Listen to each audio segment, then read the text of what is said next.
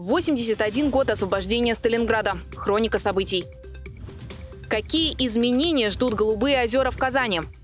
Рассказываем, как прошла премьера сериала «Прелесть» в Казани.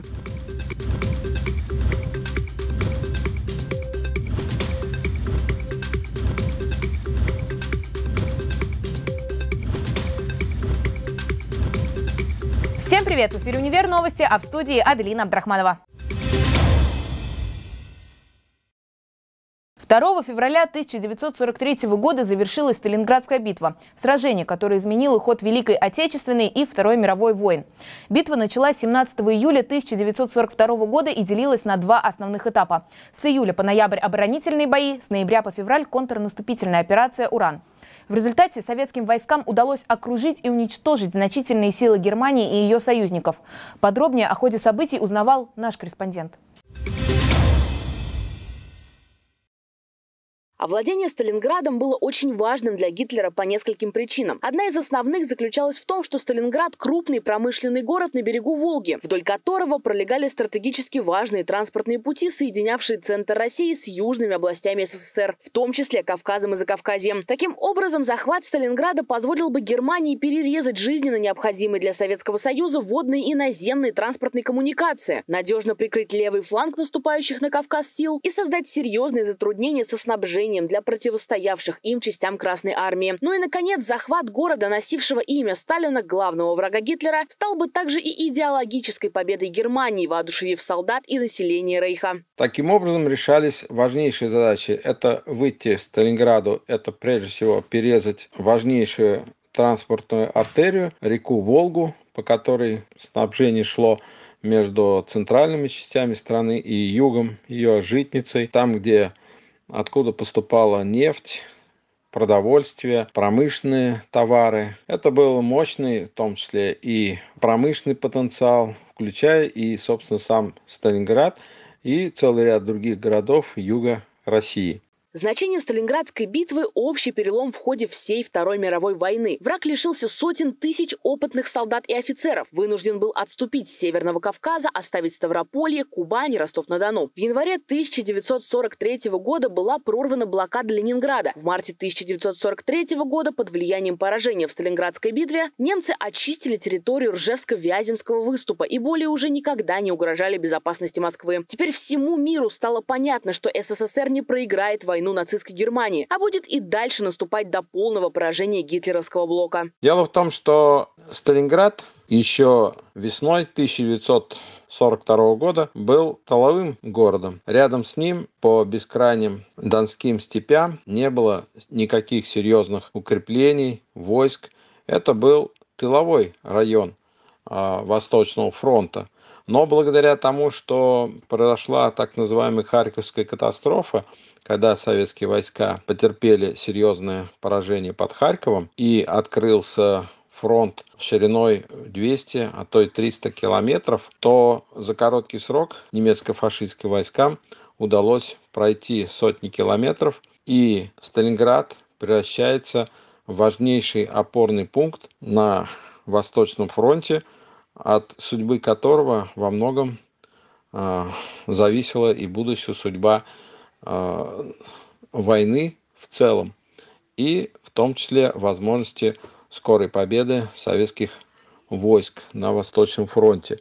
Из-за поражения под Сталинградом начался кризис в профашистских режимах Италии, Румынии, Венгрии и Словакии. Турция сохранила нейтралитет, ее власти отказались от вступления в войну. Победа под Сталинградом ускорила процесс формирования антигитлеровской коалиции. Ее следствием стала Тегеранская конференция с участием Сталина, Рузвельта и Черчилля в ноябре 1943 года, на которой было достигнуто решение об открытии Второго фронта в Нормандии в 1944. Результатами сражения стал тот факт, что Красная армия приобрела для себя необходимый опыт окружения вражеских сил и последующего их уничтожения, что в дальнейшем очень пригодилось в ходе наступления. Жертвами Сталинградской битвы как с одной, так и с другой стороны стало не только более миллиона человеческих жизней, но и десятки единиц уничтоженной техники, однако важнейшим фактором остается ослабление немецкой авиации, что как следствие отлично отразилось на атаке советской армии. Елизавета Газизянова, Универ Новости. 31 января Институт развития городов Татарстана представил концепцию развития экосистемы Голубых озер. В чем она будет заключаться и какое будущее уготовано особо охраняемой природной территории, разбирался наш корреспондент.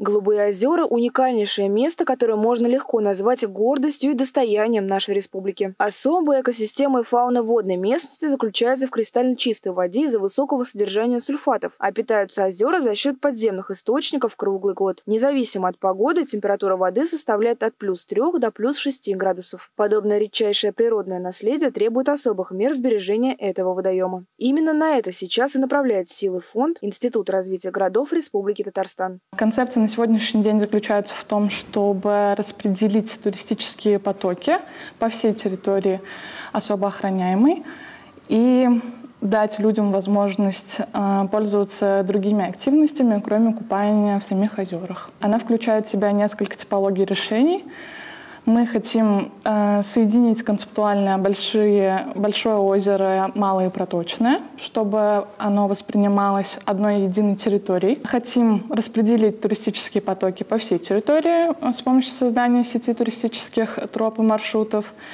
И хотим, чтобы посещение этой территории было максимально щадящим и полезным как для самого человека, так и для природы. 12 тысяч озер в среднем по Волжье, а по некоторым данным даже больше, они относятся к категории вот 0,1%. То есть это настолько их, настолько их мало, их всего около 10, именно вот голубых озер.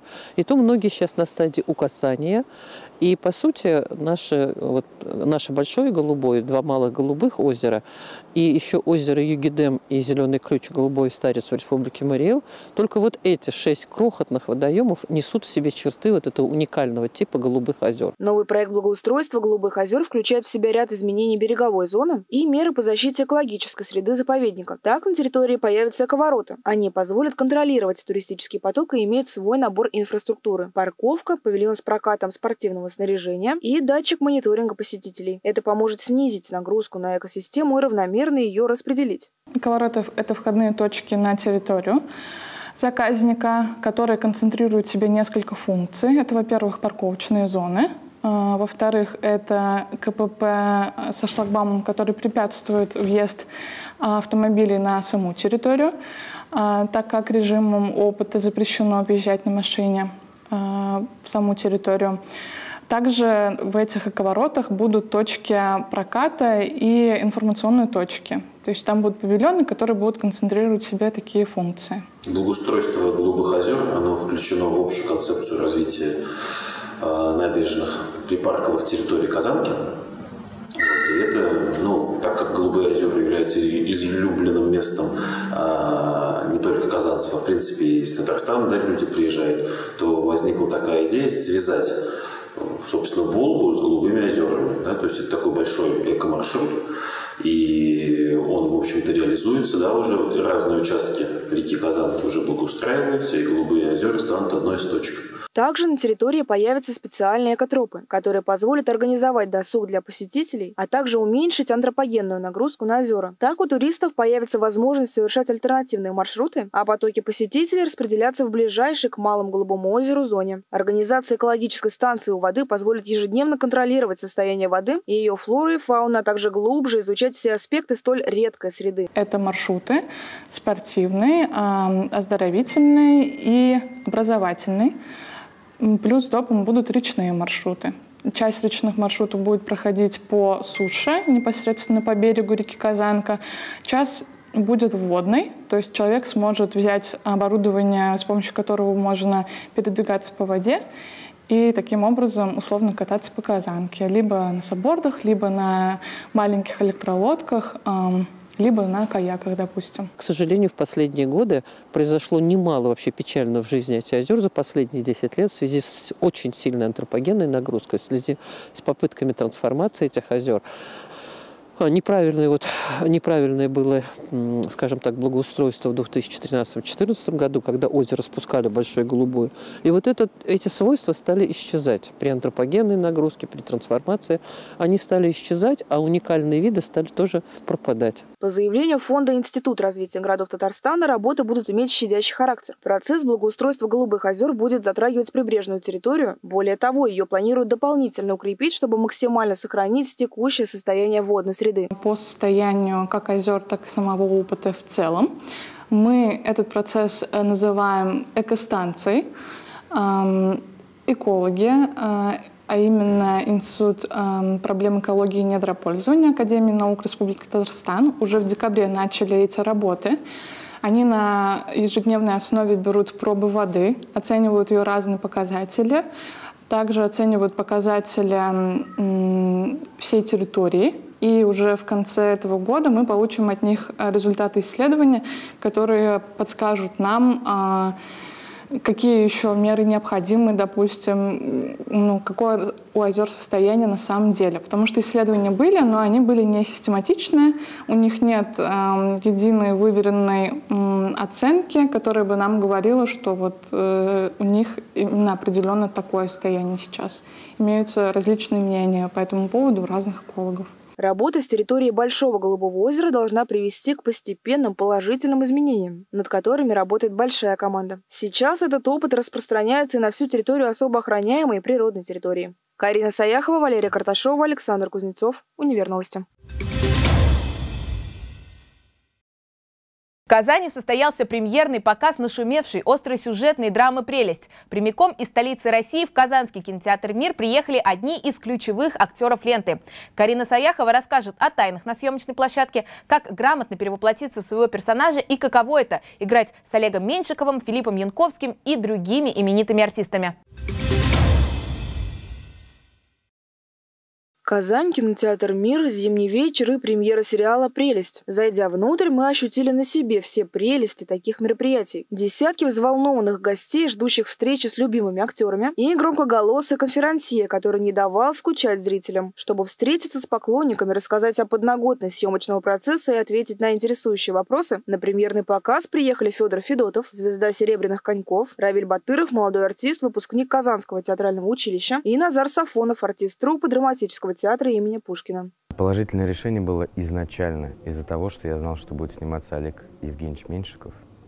Тогда еще, когда мы снимали «Пилот», еще не было Янковского, э, Филиппа Олеговича, но был Меньшиков, и это уже решило все. Все, все, все вопросы отпали. Это совершенно прекрасный сериал в плане том, что он, конечно, тяжелый, он криминальный, такой нуарный, но то, что происходило на площадке, это было ну, совершенно противоположно тому, что вы увидите на экране. Мы подружились с Федей сразу, на, еще на пилоте. А с Лизой мы вообще играем в одном театре. В общем, обстановка была совершенно э, смешливая, такая очень добрая, дружеская.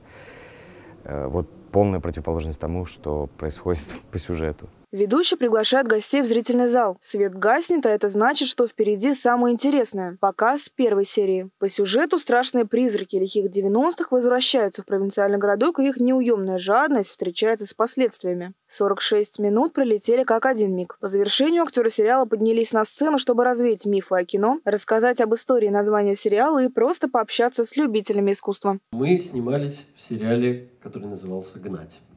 Вот. И когда уже мы его сняли, то оказалось, что погонь на машинах, погонь друг за другом и убегание друг от друга не так много, как столкновений с золотом, с искушением и не так много, как ситуаций, где вот под эту прелесть э, герои подпадают. И под влияние этого золота, под влиянием этого золота оказывается.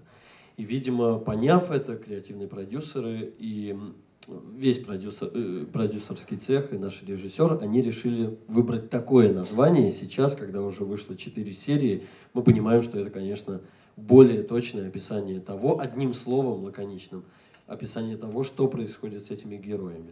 Сегодня в открытом доступе четыре серии. Пятая уже на подходе, в планах выход 8 февраля. История о криминале, параллельно идущая с темой дружбы и любви. Казалось бы, древняя как мир. Однако подача сериала «Прелесть» такая темная и одновременно проникновенная. Не заставит отечественного зрителя утомиться от бандитских разборок, тянущихся еще из 90-х. Карина Саяхова, Тимур Табаров, Анастасия Упаева. Универ новости. На этом все. В студии была Аделина Абдрахманова. Сюжеты из выпуска ты можешь найти в наших социальных сетях, а также на сайте телеканала. До новых встреч!